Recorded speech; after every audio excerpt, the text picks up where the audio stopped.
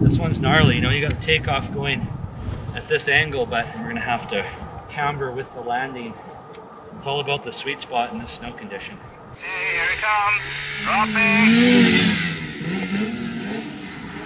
Sick.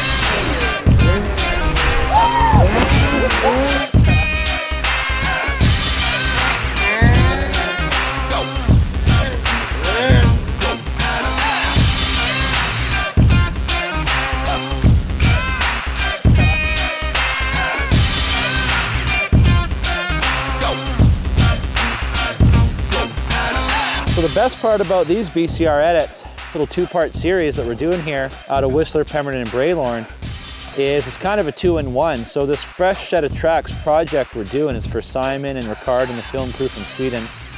But we're out here getting awesome footage. That project's a three-year project and capturing not only just good footage and good scenery in the BC backcountry, but having a lot of fun while we're doing it. And that's the big thing about my BCR edits. I want to capture not only the stoke of riding and doing some extreme things in the backcountry, but bringing nations together. We've got Sweden, USA, and Canada. We're all hanging out here and we're having a really good time.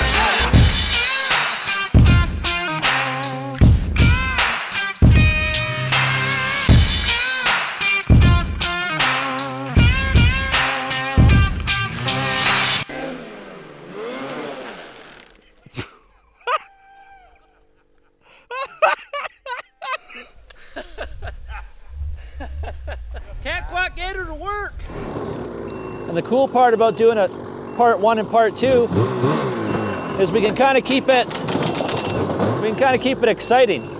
And having a part one and two helps not only capture what we did, but gives you guys a chance to get excited after you see part one.